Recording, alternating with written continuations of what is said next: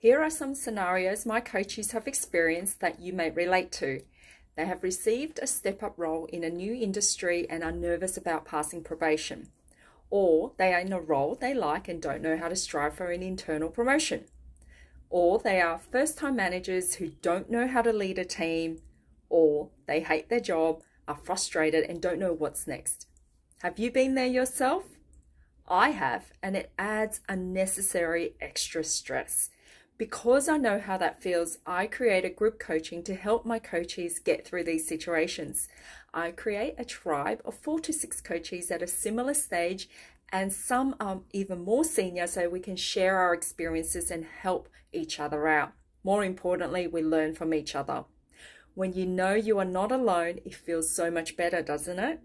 When you know you have people to lean on who are going through the same thing, doesn't it make you feel more comfortable? So, as a tribe, we meet once a month and do Q&A. I will do training on leadership, commercial knowledge, and presentation skills, just to name a few. I also invite guests to speak about their function, expertise, and their journey. Those who are job searching get my help with CV writing and mock interview training. I also catch up with each coachee one to one over six months to tailor the help to their situation. The best part? They can call me anytime to discuss an issue they are facing and need a response that day. Tapping into help whenever you need it. Doesn't that make you feel secure, confident, and less stressed? A trusted advisor.